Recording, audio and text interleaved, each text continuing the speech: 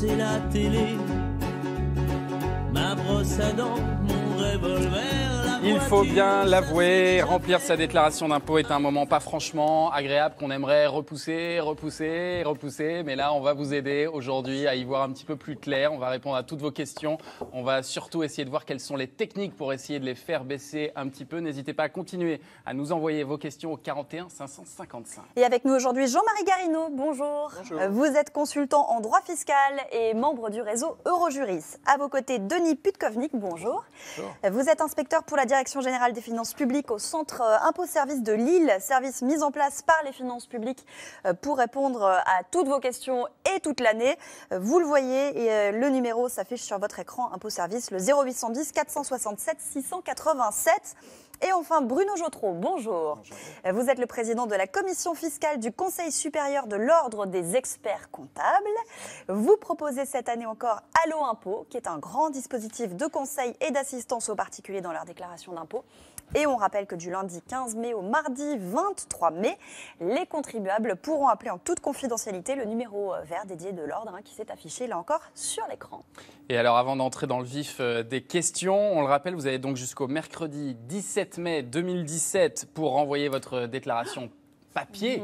Donc ça, c'est dans quelques jours. Euh, mais vous avez évidemment un petit peu plus de temps si vous le remplissez par Internet. Euh, les dates s'affichent sur votre écran. Ça dépend évidemment du département dans lequel euh, vous résidez. Ça va jusqu'au 6 juin pour les plus euh, chanceux, euh, ceux qui sont euh, entre numéro 50 et 976.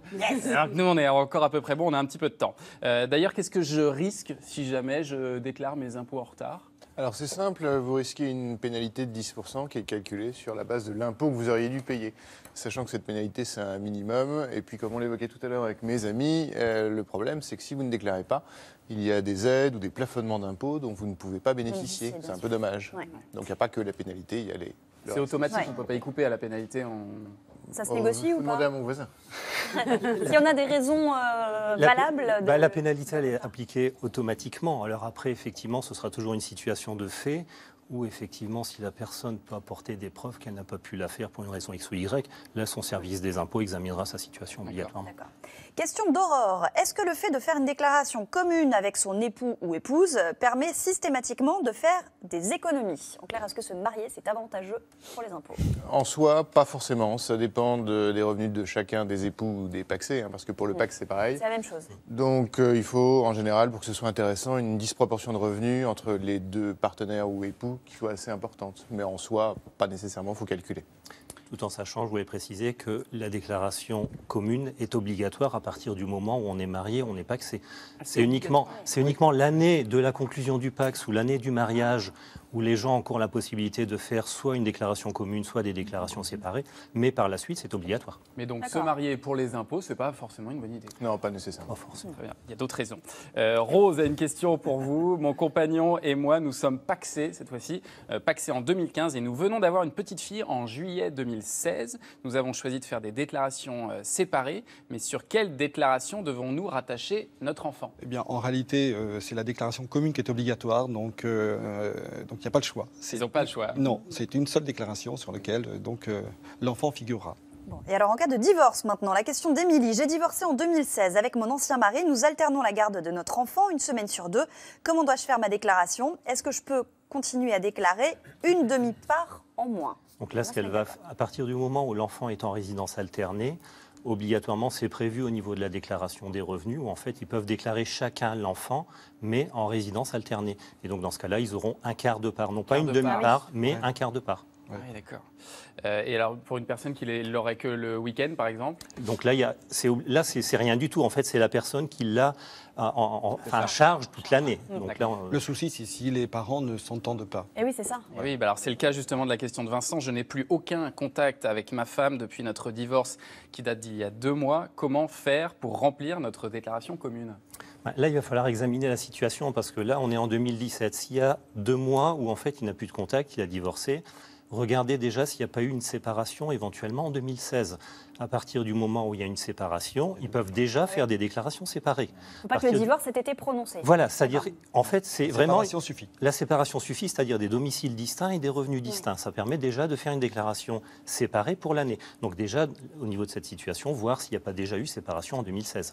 Après, donc là, effectivement, à partir du moment où il n'y a pas eu séparation en 2016, mais séparation et divorce en 2017, ils devront faire obligatoirement une déclaration commune. Donc il va falloir se parler à un moment. À un moment, se Ça parler. passe par les avocats ou... voilà. Après, Oui, sur, la, sur la déclaration figure une rubrique correspondance où on peut indiquer les circonstances euh, qui, qui ont peut-être privé le, le- le mari d'informations sur les ressources de son D'accord. Ouais.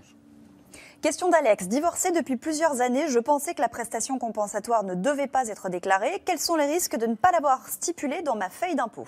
Ben, on en revient à ce qu'on disait tout à l'heure, hein, c'est un revenu que vous n'avez pas déclaré, donc euh, c'est une pénalité de 10% au minimum, mais il faut bien faire attention, parce que toutes les prestations compensatoires ne sont pas imposables. Ça dépend de savoir si elles sont versées sous Les forme de pensions alimentaires, capital. hein, c'est ça hein Oui, c'est ça. Alors, ça dépend, parce que pension alimentaire, c'est plutôt pour les enfants, a priori. Pour l'ex-conjoint, on appelle ça prestation compensatoire. D'accord. Donc, si c'est versé sous forme de capital, ça dépend du point de savoir si ça a été versé en une fois ou en plusieurs fois, et ça peut échapper à l'impôt. Et si c'est versé sous forme de rente, c'est imposable pour celui qui la touche. Donc, on n'en sait pas assez, en fait. Il faut, Oui. faut réfléchir. D'accord. Euh, question de Sacha maintenant. Euh, mon père est décédé l'année dernière. Comment ma mère devra effectuer sa déclaration d'impôt cette année? Eh bien, donc, l'année du décès, il faut établir une déclaration euh, du 1er janvier jusqu'au jour du décès, une déclaration commune, et ensuite, c'est euh, le veuf ou la veuve qui euh, doit déposer une, une seule déclaration. Tout en sachant que pratiquement, euh, la déclaration, donc la personne recevra deux déclarations des revenus, obligatoirement, à partir du moment, bien sûr, où le décès a été constaté. Par contre, les sommes à déclarer ne figureront que sur une seule déclaration. Donc ce sera à elle de, faire la répartition. Voilà, de les fonction. dispatcher. Voilà. Très bien. Alors maintenant, sans, sans le savoir, vous avez peut-être réalisé en 2016 des dépenses qui vous permettent de faire euh, baisser vos impôts en 2017. Emploi à domicile, euh, travaux d'isolation encore euh, frais de garde d'enfants, par exemple, autant de postes qui peuvent donner lieu à des, des ristournes fiscales. Alors comment ça se passe pour ne pas payer un euro de trop Olivier Rosenwag nous donne le mode d'emploi. À cette période de l'année, c'est toujours le même rituel pour Dimitri. Direction le cabinet de son experte comptable avec l'estomac un peu serré. Chaque année, on se demande combien on va payer d'impôts euh, de façon précise, en espérant toujours en payer un peu moins. Pour lui, faire appel à une professionnelle, c'est au moins la garantie de ne pas payer un euro d'impôt en trop. D'autant que la situation familiale et donc fiscale de ce jeune marié a été quelque peu chamboulée récemment. On a eu un enfant euh, l'année dernière. Félicitations.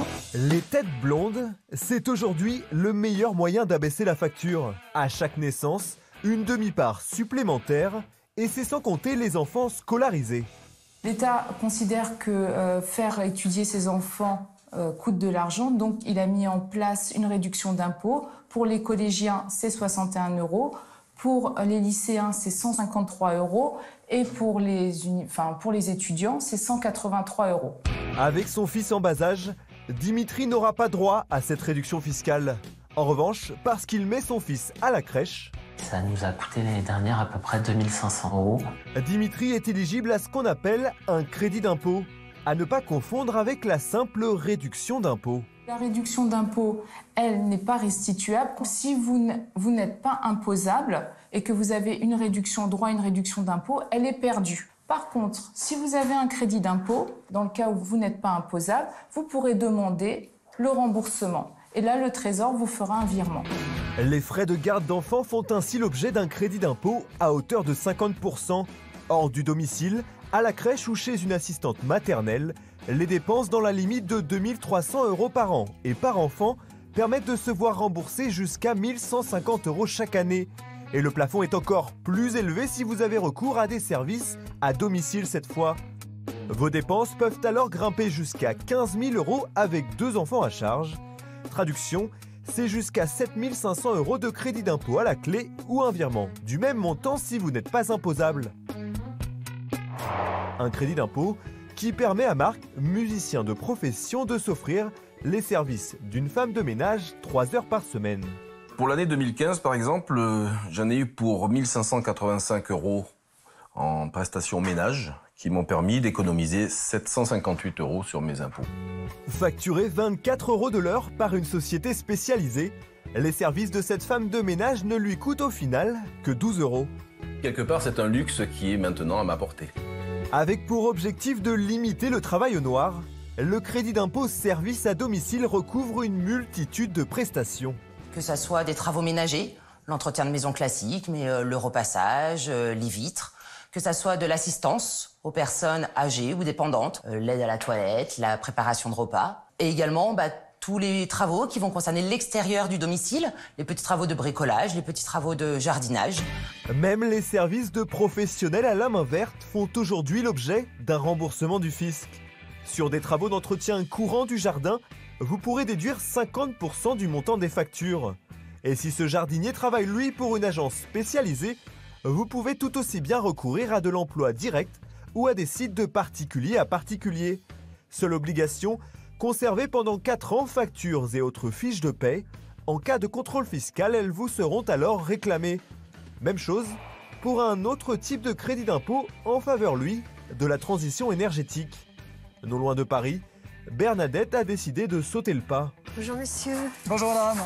Depuis plusieurs jours, les hommes de Lionel Tollet s'affairent autour de la maison de cette retraitée. Nous sommes sur une maison de 1930 euh, qui est une passoire énergétique et nous allons poser des plaques de polystyrène par l'extérieur afin de permettre un gain de 30% d'énergie. Des travaux qui vont faire l'objet d'un crédit d'impôt à hauteur de 30% du budget total des travaux, équipement et main-d'œuvre comprises, une somme non négligeable. Sur des travaux qui sont de 15 000 euros, 4 500 euros de crédit d'impôt, c'était quand même très intéressant. En fait, c'est ce qui nous a décidé de le faire tout de suite. Grâce à ce crédit d'impôt, l'année prochaine, Bernadette ne devrait tout bonnement pas payer un euro d'impôt. Ouvert aux propriétaires comme aux locataires de logements datant d'au moins deux ans, ce crédit d'impôt doit néanmoins être manié avec précaution. On ne peut pas installer euh, n'importe quel équipement, n'importe quel matériel en fait chez soi. Il faut vraiment que ça corresponde à des critères euh, de performance. On va chercher toujours à installer les équipements, les matériaux les plus performants.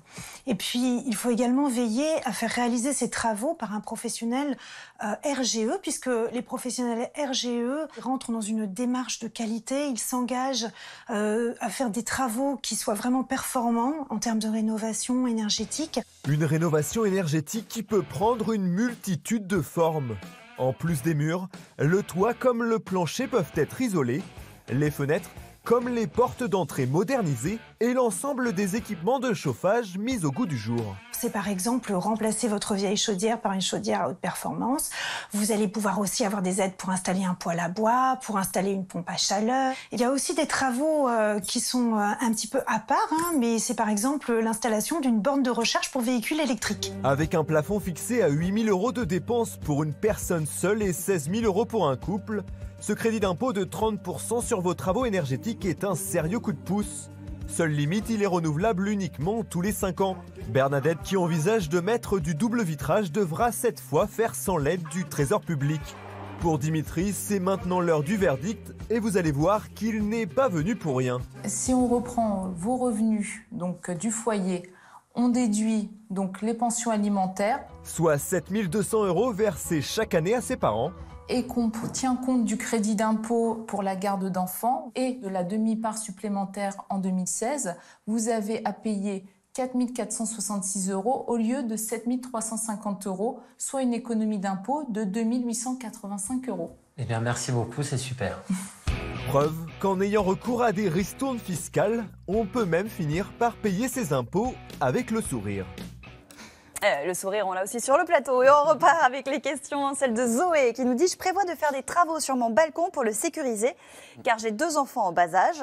Si je le fais faire par un artisan et qu'il me fournit une facture, est-ce que je pourrais prétendre à un crédit d'impôt? Non. Non. Pourquoi? Dommage, Parce Zoé. que- Pour le cas, là, rien n'est prévu en fait. Au niveau de toutes les réductions d'impôts qui peuvent être faites, là, il n'y a absolument rien. Parce que c'est pas isolant, c'est pas. Bah, c'est parce que voilà, c'est ça, parce que ça n'a pas été prévu par les législateurs, tout simplement. Non, parce qu'il y, a des- il y a des travaux qui sont pris en compte pas forcément dans l'isolation, mais pour Voilà. Les personnes âgées, par exemple, il y a des Oui, choses voilà. mais la notion, sécuri- la sécuritaire, non.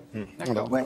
Euh, Vanessa vous demande, nous avons acheté une chaudière et l'avons posée nous-mêmes. Ensuite, pour des questions d'assurance, un technicien est venu valider le montage. La chaudière nous a coûté 1700 euros en octobre 2016. Pouvons-nous la déclarer, la déclarer aux impôts pour bénéficier de ce fameux crédit d'impôt? Alors on va encore répondre par la négative. Oh. Je suis désolé. Non, pourquoi? Donc il faut que ce soit une entreprise qui assure euh, la prestation complète. D'accord. La vérification juste la derrière, ça ne suffit Ça ne suffit pas. Oh, il peut faire une fausse facture sur pareil, hein, vous allez me dire. Oh, pas hein. pas C'est parce qu'en fait, il y a énormément de, l'installateur. de- de normes à respecter, c'est-à-dire qu'il faut que ce soit un installateur en fait qui RGE. fasse à la fois la Qu'il soit facture. agréé. Donc il faut qu'il soit agréé RGE, il faut qu'il y ait une visite préalable et qu'elle soit mentionnée également sur la facture. Il faut, euh, il y a un, un imprimé spécifique à remplir attestant que la, la- la maison a plus de deux ans, etc. Donc c'est pour ça qu'il y a énormément de, de- de- de choses à voir. Gérard. Simplement pour dire qu'il ne faut pas que les téléspectateurs croient que c'est pour les enquiquinés. La règle, c'est qu'on doit payer des impôts. Bien Et sûr. puis, l'exception, la loi, pour encourager les économies d'énergie ou pour des choses précises comme ça, encadre les conditions dans lesquelles on peut en payer un peu moins si on fait cet effort-là. Mais donc, c'est encadré. Et ex- juste Oui, une petite, euh, une petite euh, en fait, le fait en plus de passer par une, euh, comment dire, par une entreprise, donc pour ces travaux-là, vous avez droit à une TVA à 5,5. Oui. C'est également l'avantage. Une question de Denise. Compte tenu de mon âge, j'ai dû changer ma baignoire pour en mettre une avec porte pour me faciliter l'accès. Est-ce que là, j'aurai le droit à un crédit d'impôt? Et la réponse est oui. Là, oui. Ah, Ah, c'est bon pour la baignoire à porte. Je vais me l'acheter.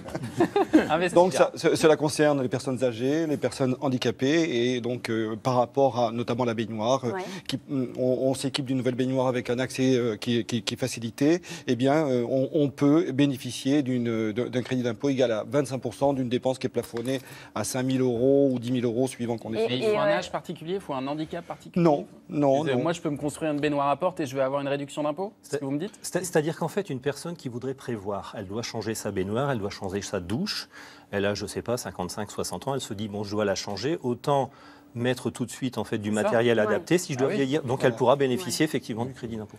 À partir du moment, toujours pareil, excusez-moi, à partir du moment où effectivement le matériel remplit les normes. Et euh, est-ce que ces travaux d'aménagement concernent donc toutes les personnes en situation de handicap? Il n'y a pas de plafond particulier? Non, le plafond financier simplement et la durée puisque c'est sur 5 ans. Donc, euh, Question de Claude. J'ai 78 ans et une personne vient m'aider une fois par semaine pour faire un peu de ménage. Est-ce que ça me servirait à quelque chose d'indiquer sur la déclaration d'impôt euh, cette visite-là, sachant que je ne paye pas d'impôt?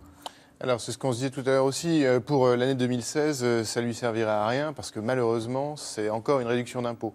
Mais pour l'année 2017, euh, ça devient un crédit d'impôt, ce qui veut dire qu'en 2018, on lui rendra une partie de l'argent qu'il a payé. Mais pour l'année dernière, malheureusement, ça ne changera pas grand-chose. Et toujours pareil, il faut que ce soit bien encadré, c'est-à-dire que la personne était rémunérée soit avec des titres CESU, Oui. ou éventuellement faire appel à une association qui est éligible au service à la personne. Si on donne de l'argent de la main à la main, effectivement, Oui. Ah, ça marche pas. ça marche pas. Alors, Jeanne a l'habitude de verser mensuellement 300 euros à son fils qui, euh, bien qu'il travaille, n'arrive pas à joindre les deux bouts. Elle vous demande est-ce que ça pourrait être déduit de mes impôts comme donation? Et est-ce qu'il doit euh, aussi le déclarer de son côté à lui Alors oui, il devra le déclarer de toute façon, mais surtout ce qu'il faut bien voir, c'est que ce ne sera pas déduit de ses impôts, ce sera éventuellement déduit de ses revenus, et ce ne sera pas considéré comme une donation, mais comme une euh, pension alimentaire, on en parlait tout à l'heure. Donc il y a un plafond, 5 738 euros par an du côté de la mère, et surtout il faut absolument une disproportion de revenus et de situation entre sa mère Et le fils. et le Ouais. fils. Eh oui. Parce que si les revenus sont trop proches, on va considérer qu'il n'a pas besoin d'être aidé ou qu'elle n'a pas les moyens de l'aider, donc on va rejeter euh, la déduction chez elle, mais on va quand même taxer chez lui. Et- Donc euh, lui a l'obligation de déclarer de toute façon. C'est quoi Et la limite pour lui, par- pardon? Non, je t'en prie. Ben, Il n'y en a pas. salaire. Il y en a pas. C'est-à-dire que On parle souvent du SMIC. La- non, la règle, en fait, c'est de regarder les ressources de la personne qui donne et les ressources de la personne qui reçoit. Et après, c'est une appréciation de fait par le service en fonction de ce qui est déclaré, en fonction éventuellement de leur situation particulière. Donc là, ce sera vraiment une appréciation. Donc ça veut dire que c'est la même chose si c'est le- le- l'enfant qui donne aux parents oui, oui, c'est pareil. voilà, c'est pareil. D'accord. Mais il faut pouvoir euh, justifier et prouver le, le- le donc les 5738 que vous évoquiez. Ouais. Fabien, toi, tu as des petites euh, d'autres options à nous donner pour euh, Ah oui. réduire un peu le montant de ces impôts. Là, là, là, c'est du sérieux, là, c'est du lourd. Allez, attention. Pour réduire dossier. impôts, non, je veux parler simplement du dispositif d'entrée au capital de PME, comme c'est euh, facilité aujourd'hui, c'est-à-dire que tu mets de l'argent, tu Dans achètes des, parts de petites entreprises françaises ou européennes, des start-up en réalité, Ouais. à travers les, les- les sites de mise en relation entre les particuliers et euh, les directeurs de, PME. Ça existe aujourd'hui, c'est le crowd investing, le crowdfunding. On en parle souvent ici, c'est des plateformes Internet, donc pour entrer, pour euh, placer son argent. On place son argent et on a une réduction d'impôt de 18%. Euh, de la mise, ce qui est intéressant. Alors, pour donner du sens à son argent, parce que là, on va me dire, mais c'est encore une idée de capitaliste. Non, non, pas forcément. Pas forcément. On peut aussi investir dans des sites qui sélectionnent des projets à vocation sociale, éthique, environnementale. Il y en a un notamment où il n'y a que des projets. 100% des projets sont éthiques. Ça s'appelle 1001 Pacte. 1001 en chiffres, ouais. PACT, exactement. Et euh, ce ne sont que des projets, il y en a une dizaine de dossiers. On peut y aller à partir de 100 euros, ça donne du sens à son argent, on a une réduction d'impôts, et si la société trouve son marché, eh bien c'est le jackpot. Oui, mais c'est ça, a des plus-values. Il faut qu'elle le trouve, son marché. Est-ce que Alors, ce sont des placements risqués? Alors ce sont, oui, ce sont des placements même je dirais, tout très perdre, tu risqués. peux tout perdre. La mise, le ticket d'entrée, on peut tout perdre.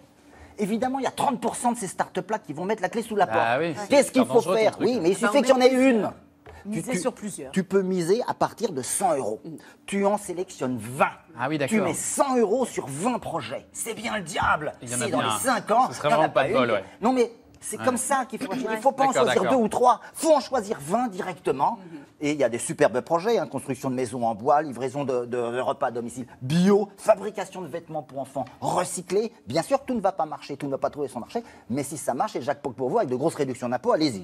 Oui, mais attention, Fabien, il faut garder les titres pendant au moins 5 5 ans. Sinon, c'est rien du tout. l'impôt. 5 ans, c'est toujours la même règle non, fiscale. Il faut garder pas- 5 c'est- ans. C'est pas rien du tout, parce que dans ce genre d'entreprise, si tu veux, tu peux avoir euh, des sorties plus ou moins forcées. Euh, Il y a des packs d'associés qui vont te dire, ah bah, les investisseurs, ils sortent. Donc il faut faire très attention et il faut demander la petite attestation à la société. Ah bah oui, ah bah, il y a un peu de paperasse à faire. Bénéficier Oui, mais des- souvent- des- Souvent d'ailleurs, c'est 5 ans le délai fiscal, mais c'est beaucoup plus pour euh, gagner de Pour l'argent. gagner de l'argent, qu'on ouais. Attention. Ouais. hein. Mais son vous conseil. recommandez moins, vous. Hein vous êtes Ah non, moins- non, non, non, non, non, non, je recommande. Non, je, je- précautions je- sont- je- je recommande parce qu'en plus c'est très intéressant au plan humain parce que vous accompagnez des entreprises, vous avez du suivi, vous avez plein de choses, c'est quelque chose de très sympa. Mais c'est du long terme, ça peut être contraignant et c'est risqué. C'est tout. Comme son conseil est bon d'en acheter un petit peu plusieurs. Ah oui, un peu comme au Monopoly, on vous achète toutes les rues, il y en a un qui si va tomber dans la case. C'est- la, c'est la mutualisation des risques. Oui, on ne met pas tous ses œufs dans le même panier. Voilà. Allez, question de Patrick. Quels sont les frais que je peux déduire de mes revenus locatifs et à quelle hauteur Alors, En est-il des appartements meublés aussi, vous demande Oui, alors par principe, là encore, on en, on en discutait tout à l'heure, euh, ça dépend du point de savoir s'il est en micro-foncier ou en revenu réel. Alors ça dépend du montant de ses loyers, d'accord? Mais s'il offre, s'il opte pardon, pour déduire les dépenses, il peut tout déduire, sauf ce qui correspond au remboursement du capital de l'emprunt. D'accord? Mais c'est relativement complexe, donc là, il faut se faire accompagner, il faut regarder sur le site des impôts, euh, ça dépend des situations de fait. hein. Tout à fait. Bon, la location maintenant, euh, disons, euh, d'été ou, euh, ou pas régulière, avec cette question de Julia. J'ai loué mon appartement quelques jours en 2016 pour environ 280 euros. Est-ce que je vais devoir le déclarer? Donc là, obligatoirement, ça doit être déclaré maintenant dès le premier euro. Donc là, à partir du moment où on est sur de la location meublée, donc on sera dans un régime spécifique qui s'appelle le micro BIC. Là, pour le coup, en fait, il faut prendre le micro BIC, tout en sachant qu'en micro BIC, en fait, on a droit à un abattement de 50% avec un minimum de 305 euros. Donc pour le cas, en fait, elle n'aura pas d'imposition sur les loyers qu'elle a perçus. Et quand on loue une chambre dans son logement, c'est pas la même chose donc là, c'est un petit peu plus compliqué parce qu'en fait, il faut déjà que ce soit. Ça l'était déjà pas mal, non Non, mais il faut que ce soit la résidence principale du bailleur et du locataire déjà. Et après, il faut que le loyer soit dans des limites raisonnables. C'est-à-dire que, alors si mes souvenirs sont bons, en région parisienne, ça doit être 184 euros du mètre carré à l'année. Mmh. Et en province, c'est 135 euros. Donc vous voyez que le tarif, il est quand même très. Vous disiez il faut, il faut euh, absolument euh, déclarer dès le premier euro, mais est-ce que c'est pas le principe pour tout ce qu'on touche en général C'est Ah, un si. principe de base de complètement, l'administration fiscale. Tout ce qu'on touche, tout ce qu'on nous donne, tout ce qu'on- il faut, il faut Mais déclarer. Mais l'exemple euh, résidence principale du bailleur, résidence principale du locataire, ben là, vous n'avez pas de. On n'a pas déclarer, tout à fait. Hmm. Mais les gens, les gens avaient tendance à penser que les revenus de, éventuels de covoiturage, de Oui. Airbnb, etc., n'étaient pas imposables. Et on a eu tendance à leur faire penser qu'ils devenaient imposables.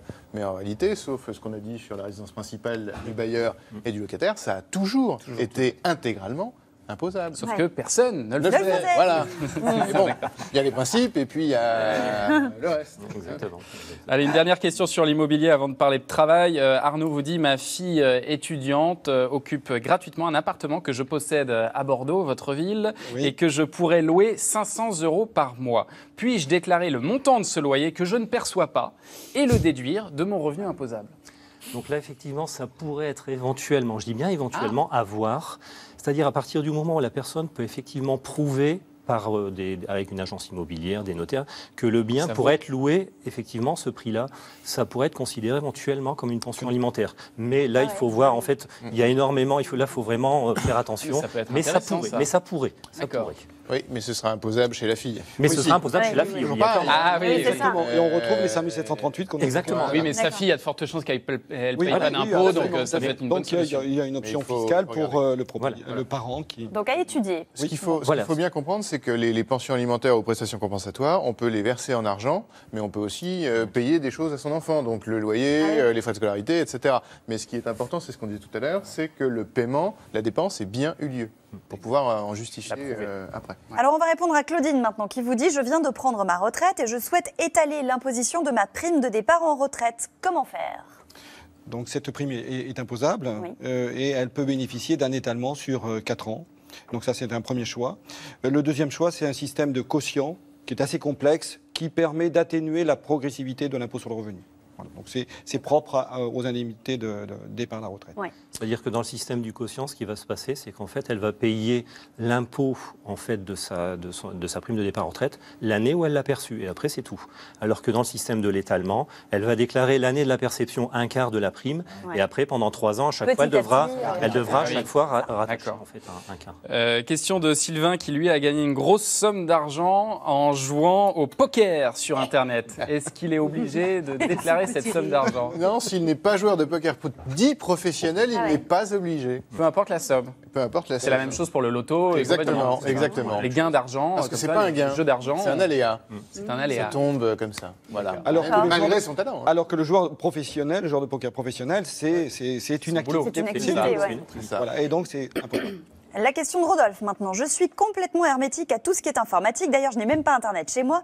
Est-ce que je peux continuer à faire ma déclaration sur papier?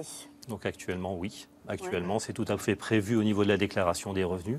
À partir du moment où vous avez notamment un foyer qui n'est pas équipé d'Internet ou alors que vous ne maîtrisez pas suffisamment l'outil, vous pouvez encore déclarer sous forme Personne papier. n'est obligé de déclarer en ligne. Pour l'instant, à partir, il y a l'obligation, si vous voulez, malgré tout, à partir du moment où on a le revenu fiscal de référence en fait supérieur à 28 000 euros, à partir du moment où la résidence est équipée d'Internet, en principe, on doit. Oui. En On principe, doit. on doit. Voilà. C'est obligatoire. Voilà, c'est obligatoire. si Mais voilà, mais effectivement, si la personne n'est pas à l'aise, etc., pour l'instant, il est prévu qu'elle ne. Pour on ne pourra jamais l'obliger une personne qui Et est je crois que ça va- dépassée par Internet de Ça va venir, non? C'est pas ça votre projet que tout le monde déclare en ligne? Mais sauf ceux qui sont incapables de le faire ou qui ne connaissent Je sais rien. pas, je sais pas, je vous pose la question. Bah, C'est impossible. Au niveau de l'avenir, je ne sais pas. D'accord? Pour l'instant, il est prévu. Ben non, mais. Ah non, rassurez-nous, vous mais en pour l'instant, il- est prévu d'abaisser les seuils. Là, on est à 28 000 euros, ça va baisser progressivement.